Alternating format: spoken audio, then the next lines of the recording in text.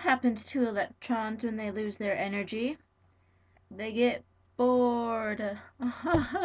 get it? Whew. That one gets me all the time.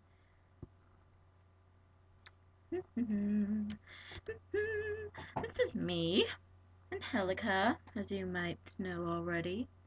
This, I'm drawing myself. And this is my partner.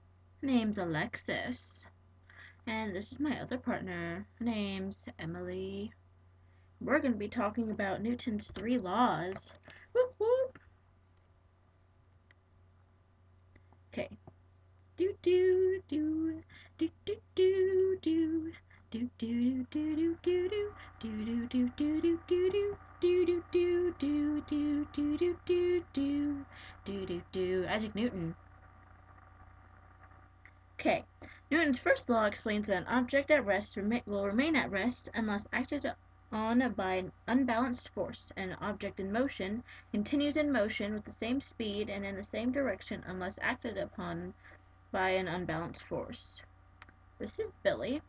He's kicking a ball, and the ball is at rest. So Billy is now going to kick the ball, and that is going to be the applied force, which will make the ball move. I'm going to erase this line because I don't need that. This is a, the soccer goal where Billy is makes his soccer ball go into. Yay, Billy! And the net stops the ball, which is the unbalanced force. Whoop, whoop. You know what they say. An object in motion stays in motion. An object at rest stays in bed. Unless their mom tells them to get up. Get up!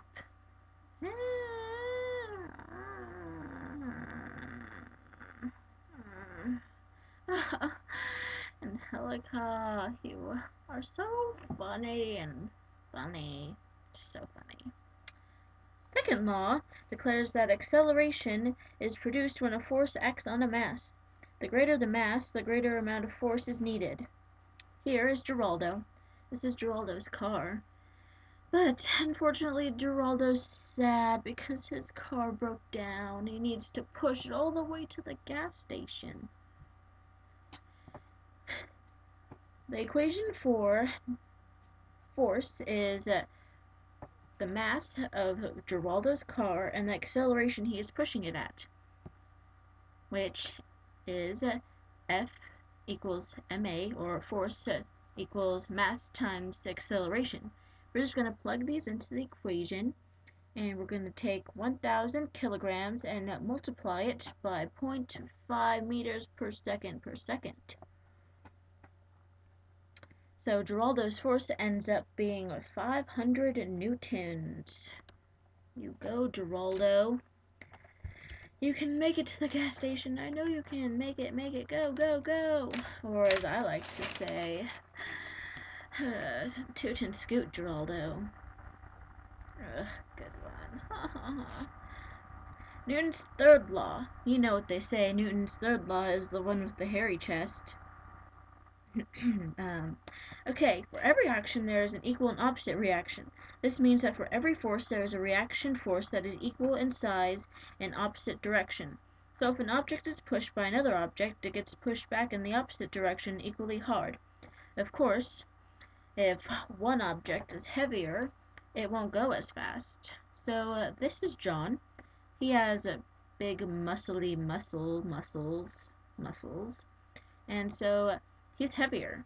This Stacy, she's lighter, so she's gonna take a little joyride.